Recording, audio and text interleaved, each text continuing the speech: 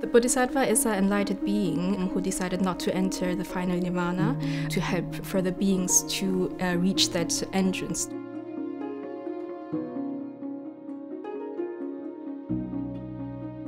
Within the religious context, we would expect that the figure would have been consecrated through a very specific ritual.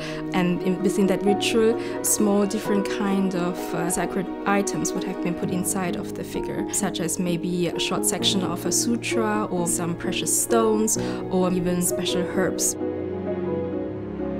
Obviously the base plate is sealed, so we didn't want to open it because in that way we would destroy the bronze itself. So we took the figure to a facility to make a radiograph of it to see what is actually inside. And to our surprise, we did find several objects.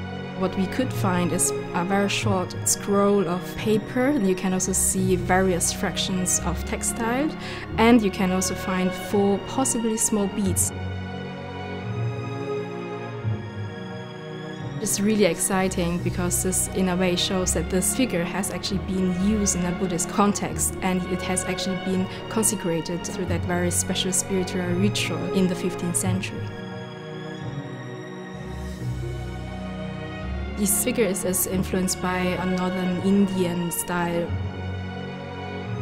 the style evolved during the 15th century, during the era of uh, Yongle and the Emperor Xuande. And during his reign, there was a very flourishing period for Buddhist art at the imperial court.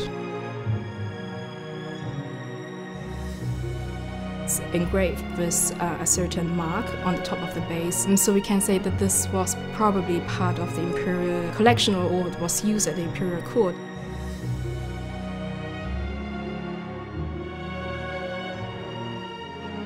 And then if you go closer to it, you can see all the very finely cast details, which is rather special also because it, is, it just represents the high quality of the gilt figures of that period.